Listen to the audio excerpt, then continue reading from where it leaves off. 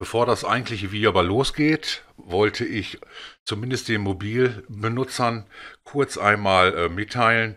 Ähm, mir ist was, ähm, ja, was eigentlich was Blödes passiert, denn ich habe euch erzählt, dass man hier hinten in der Kanalinfo meine E-Mail-Adresse abrufen kann und ihr könnt euch eure dort ändern. Das kann man gar nicht an der mobilen App, das kann man nur am PC machen, habe ich jetzt festgestellt. Wo ihr mir aber die E-Mail-Adresse hinterlegen könnt, das zeige ich euch ganz, ganz kurz. Und zwar, wenn ihr hier auf Übersicht geht, dann habt ihr, wenn ihr etwas weiter runter geht, habt ihr euren Kanalnamen und dort rechts habt ihr dieses kleine Zahnrad. Und wenn ihr auf das kleine Zahnrad klickt, dann bekommt ihr, eigentlich kommt ihr in eure Einstellung rein. Und hier kann man in der Beschreibung, das ist die Beschreibung, die in der Kanalinfo drin steht, hier könnt ihr dann die E-Mail-Adresse eintragen und hier kann ich eure E-Mail-Adresse auch abgreifen von eurem Kanal. Das geht auch nur über den PC, aber das funktioniert in jedem Fall und ihr könnt die dann nach der Verlosung dort wieder wegmachen. Das sei nun mal kurz an der Stelle gesagt. Das wollte ich euch ja noch nachreichen. Mir war das nicht bewusst, dass an der mobilen App nicht alles geht, was am PC geht und ein bisschen geht ja an der mobilen App mehr, als das am Tablet geht und so weiter. Also hier könnt ihr das machen und wenn ihr hier die E-Mail-Adresse eintragt und das Ganze auch dann speichert, dann sehe ich die auch für die Verlosung. Aber jetzt erstmal viel Spaß mit dem Video.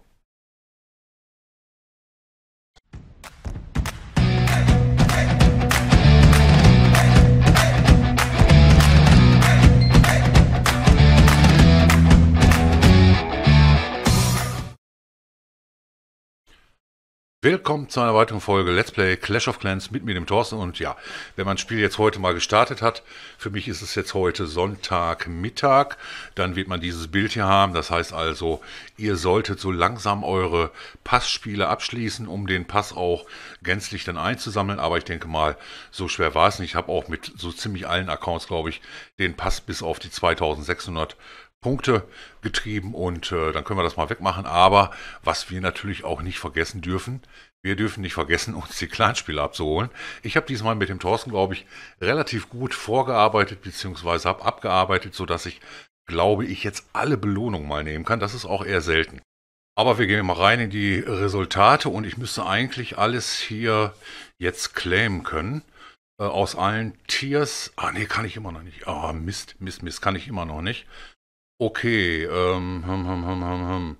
Schaufel, Schaufel da. Die Rune hier, die Rune, die interessiert mich in jedem Fall. Deswegen, wir wollen ja heute ein bisschen die Runen auch ausgeben. Aber ich sehe, dass ich hier gerade noch eine Schippe verschippen muss. Also kurz mal eine Schippe verkaufen. Einmal Zellen, ja, 50 Gems dafür. Für eine Schaufel ist echt cool, muss ich sagen. Und ich habe auch noch, ich habe da gesehen, ich habe noch einen Hammer. Und ich bekomme aber hier, glaube ich, auch noch aus dem Pass, glaube ich, auch noch einen Hammer. Und die Hammer Hammer, die kann ich gar nicht so schnell nehmen, weil ich auch gar nicht so viel bauen kann, muss. Book of Fighting, okay. Okay, dann können wir hier aber jetzt, glaube ich, alles abholen. Den Hammer da hinten brauche ich, eigentlich brauche ich ihn nicht. Obwohl ich den Hammer ganz gut gebrauchen könnte. Ich gucke mal eben, wir müssen doch noch mal kurz hier rein. Hier hatte ich das eigentlich auch soweit vorbereitet. Ähm, hatte ich das wirklich vorbereitet? Ja, habe ich. Wir wollen erstmal den hier, glaube ich, leveln und machen uns das Ding mit dem Hammer erstmal fertig. Dann habe ich jetzt hier oben auch jeweils doppelt die 5 Millionen drin und kann jetzt eigentlich hier in jedem Fall die Rune nehmen und könnte da den Hammer nehmen. Allerdings kriege ich ja den Hammer auch noch aus der aus dem Pass wieder. Deswegen passt das im Moment eigentlich nicht. Wir nehmen die Rune, wir nehmen die Gems. Wir nehmen hier natürlich die Mauerringe, Gems, Schaufel, Gems. Alter, so viel Gems, auch nicht schlecht. So kann ich das aber ganz gut, glaube ich, gebrauchen. Ich hätte jetzt noch ein bisschen mehr Gems, glaube ich, rausholen können, indem ich die eine oder andere Pulle wahrscheinlich verkauft hätte, aber so sieht das ganz gut aus. Ich habe auch nicht wirklich hier viel reingefahren, 950, naja, es geht so. Es geht so und dann wollen wir die Rune natürlich auch ausgeben heute. Ähm, wo ist das Lager? Hier ist das Lager, das können wir füllen. Die gebe ich in jedem Fall aus. Hintergrund ist, dass ich noch eine auch wieder aus dem Pass bekomme.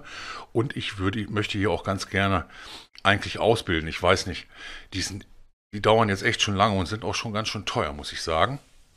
Mal sehen, aber bis zum nächsten Farm müsste ich da eigentlich das Elex wieder drin haben und ich weiß auch nicht, ob die wirklich zu gebrauchen sind. Ähm, bei den Baugeschichten hier weiß ich eigentlich auch nicht so genau, äh, wie, man, wie man da eigentlich vorgeht. Also ich orientiere mich immer daran, was haben meine Gegner am meisten gemacht. Ich meine so ein bisschen Erde, so ein bisschen Luft. Hier seht ihr Lufttruppen zweimal hintereinander. Hier wieder Erdtruppen, Lufttruppen, Lufttruppen. Ich glaube, die Lufttruppen überwiegen so ein bisschen, je nachdem. Jeder kann ja auch unterschiedlich angreifen und dementsprechend glaube ich, nehmen wir hier mal den ersten, wir nehmen mal hier den ersten Kracher hier, den wir hier hochballern. Und den lassen wir jetzt auch laufen. Ich habe ja den Otto, das heißt, ich habe immer noch einen Bauarbeiter. Ich weiß, ich weiß nicht wirklich, ich glaube, einer hatte mich, einer hatte mich schon mal mit den, mit den ähm, Schweinegleitern angegriffen. Oder ist der hier schon wieder raus? Ähm, ist der, ah doch, der ist schon wieder raus. Einer hatte mich schon mal damit angegriffen. Aber ich weiß nicht, ich weiß nicht, ob die schon wirklich, ob die schon wirklich gut sind. Und ähm, aber mal sehen, ich wollte hier eigentlich mal so ein bisschen, bisschen in die Pokale reinpushen. Mal sehen. Ähm, hm, hm, hm. Ah, da kriege ich, da kriege ich die, die ähm, Clanburg-Truppen kriege ich da schlecht oder die Wachpostentruppen. Aber mal sehen. Ähm, Tonne ist dahinter. Da sind ein paar Dinge, ich gehe jetzt immer so ein bisschen anders vor. Ich nehme immer erst drei von denen. Dann lösen die mir schon mal so ein paar Fallen aus. Ich, oh, ich glaube, ich glaube, so ein ähnliches Dorf habe ich, hab ich gestern öfter mal machen müssen. Drei Stück nehme ich jetzt ein bisschen von, von relativ weit hinten. Oh, die lösen das aber richtig gut aus da. Muss ich schon mal sagen. Und der Tesla da muss weg. Der Tesla da auf der Ecke muss weg. Und wo geht meine Kampfmaschine? Die geht nach da. Okay, die kriegt jetzt noch nicht ganz so viel Beschuss. Ähm, die Tonne da macht ganz schön viel Schaden, aber die Meisterhütte müsste trotzdem fallen. Jawohl, da ist die Meisterhütte gefallen und meine Kampfmaschine entscheidet sich so ein bisschen außenrum zu gehen. Das ist gut. Allerdings jetzt Doppelkanone, die schießt noch auf meine kleinen Skelette. Das ist auch gut dass die ein bisschen abgelenkt ist, denn die macht doch enorm viel Schaden. Okay, da gehen 56. Oh, ja, okay, jetzt ist das nächste Lager ist jetzt ein bisschen zu weit weg. Und die Doppelkanone, glaube ich, fällt nicht. Ah, das, die ist echt stark. Seht ihr, ich habe jetzt mal gerade so zweimal meine Maschine zünden können. 60 Prozent, das ist nicht so wirklich viel. Mal sehen, ob das mit den Schweinegleitern wäre. 68. Aber ihr seht das, auch mit Luft. Auch mit Luft. Äh, gerade wenn so eine Luftabwehr im Bau ist oder hier der Kracher im Bau ist, dann ja, dann ist man ein bisschen geschwächter durch die Luft, denn eine Luftabwehr ist weg und der Gegner macht es einem gleich nicht ganz so einfach, beziehungsweise macht sich dann einfach. Ich meine, ich hätte jetzt eben ja den Hammer nehmen können. Den kann ich jetzt immer noch nehmen, dann habe ich das Ding fertig, aber ich kann, ich habe im Moment kein Gold, um das Ganze nachzuholen. Ähm, ich würde gerne mal eine Base machen, wo ich die Schweinegleiter einsetzen kann. Allerdings mit so einem tiefstehenden Wachposten hier. Da brauchst du die, glaube ich, nicht einsetzen, weil ich komme nicht an den Wachposten ran. Das ist das Problem.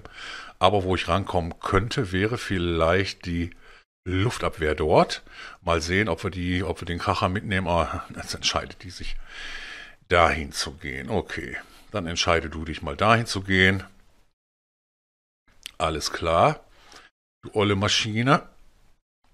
Ah, ich darf auch nicht vergessen, die jetzt wieder zu zünden. Eins, zwei, drei dahinterher.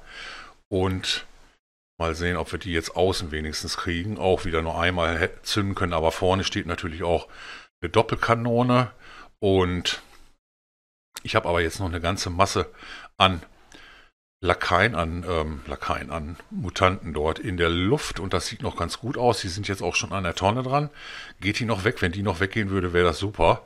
Denn die geht, jawohl, da ist sie noch weg. Ja, trotzdem 56, ja, immer zwei Sterne geht. Also wenn ich immer zwei Sterne hole, dann bin ich eigentlich mal ganz zufrieden.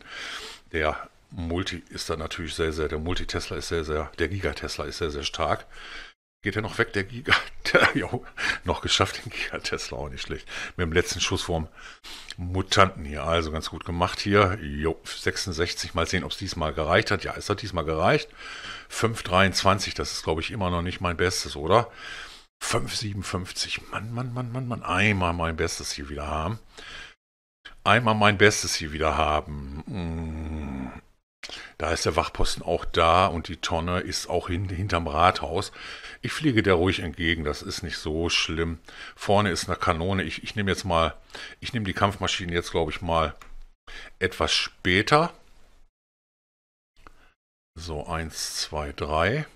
Und eine ganze Masse von den Lakaien dahinter und die lasse ich jetzt auch von ganz hinten anfliegen. Dann kann ich jetzt eigentlich, da ist die Kanone schon weg vorne, dann kann ich die jetzt einmal nehmen und vorne auf der Ecke muss in jedem Fall die Kanone weg und hier muss vielleicht, äh, müssen vielleicht die Lager weg auf den beiden anderen Seiten. Und ja, meine Maschine braucht zwar mal lange für so eine Mauer, aber wenn sie da durchkommt und vorne der Kracher wenigstens weggeht, ah, der ist weg, der ist weg, der Zerschmetterer, dann komme ich vielleicht noch ein bisschen durch und kann hier noch ein bisschen was tanken für, für meine kleinen Skellies. Der Multimörser muss weg, jawohl, der geht weg.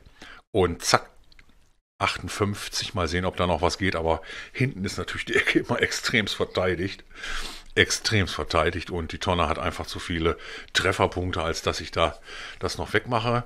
Die Riesenkanone ist noch weg und dann war es das jetzt aber auch für meine Lakaien. Ja, aber 64 Prozent, ihr seht, ich pendel mich immer so ein bisschen ein. Ich habe die Tage auch schon mal einen hundertprozentigen gepackt. Das ist dann aber auch wirklich die, die Ultra-Ausnahme. Ähm, muss ich mal schauen, habe ich hier mal einmal 100%? Doch, ich glaube, ich hatte auch mit diesem Account hier einmal 100% gepackt und 5,23. Wir gucken mal, was der Gegner macht. 64 Prozent. Das wäre in jedem Fall mein bestes Ergebnis. Auch 64 Prozent. Nein, der macht noch einen, oder? Ah, nee, auch nicht. Unentschieden. Sehr geil. Sehr geil. Unentschieden. Buh, Glück gehabt. Glück gehabt. Ein Draw hat man ja auch mal. Ein Draw, aber auch mit Luft. Habt ihr gesehen? Auch mit Lufttruppen. Okay, hier ist die Kanone da vorne. Ähm, nehme ich eigentlich immer die gleiche Taktik. Ich nehme immer die gleiche Taktik. 1, 2, 3. Das ist nicht so schlimm, wenn die da vorne ist. So, da werden schon mal die ersten Sachen ausgelöst. Das ist schon mal ganz gut. Jetzt nehme ich die mal komplett hier weg und gucke mal, dass ich, ja, die Tonne, die Tonne wird jetzt alles kaputt machen, denke ich mal. Ähm, aber von der anderen Seite habe ich einfach viel zu viel Beschuss.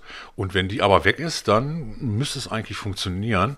Da geht sie jetzt weg. Jetzt ist sie weg. Jawohl. Meine Kampfmaschine. Komm, komm, komm. Ah, die Mauern sind heftig. Da sagt noch einer, mach keine Mauern im Nachtdorf. Das lohnt sich nicht. Doch, das lohnt sich. Ihr seht ja, wie lange die Kampfmaschine da steht, um, um eine Mauer zu machen. Komm, den Kracher noch wegmachen. Jawohl, Kracher ist noch weg. Multimörser kriege ich auch noch kriege ich noch 56, die Kanone nicht mehr. Die Kanone schaffen die beiden da aber noch. Jawohl, das müssen wir noch packen. 60, wieder, wieder 60 Prozent. Immer diese 60er. Hm, okay, ich muss vielleicht doch mal die Taktik umstellen, aber so wirklich äh, fällt mir da auch nichts Neues ein, muss ich sagen. Komm, mit 60 Prozent, lass mich doch mal gewinnen hier. Lieber Clash of Clans Squad, 64 Prozent. Aber auch mit Luft. Habt ihr gesehen? Immer mit Lufttruppen. Also nach wie vor wird hier echt stark mit Lufttruppen angegriffen. Ganz anders als im, in, in, in dem Dorf hier. Ähm, hier habe ich jetzt im Moment äh, nach wie vor äh, immer noch weniger zu machen als wenig. Denn hier steht auch so ein bisschen die Zeit und ähm, ganz, ganz fatal, die Liga rückt näher. Ja, wir haben so ein paar Events und die Liga rückt näher. Ein Tag, 21 Stunden. Aber das steht auf einem ganz anderen Blatt Papier. Dazu komme ich sicherlich auch noch so ein bisschen wenigstens in der Woche. Äh, warum nur so ein bisschen? Da seid gespannt auf die nächsten Folgen. Ich hoffe, diese hier hat euch gefallen. Wir haben heute zwar mal ein bisschen Nachtdorf gemacht, aber auch da kommt man sicherlich so ein bisschen so Schritt für Schritt weiter. Und ähm, ich hoffe, die Folge hat euch dennoch trotzdem gefallen. Wenn ja, dann lasst mal einen Daumen nach oben am Ende nach und ähm, wir sehen uns am Dienstag noch in einer Folge und am Mittwoch wahrscheinlich hier auf YouTube im Livestream die Live-Auslosung aus dem Gewinnspiel. Das Gewinnspiel habe ich euch oben nochmal in der Infokarte ähm, rein verlinkt. Dort könnt ihr nochmal äh, vielleicht doch noch dran teilnehmen, aber ähm, es sind doch schon einige Stimmen. Ich freue mich in jedem Fall darauf. Bis dahin, euer Toto. Lässt.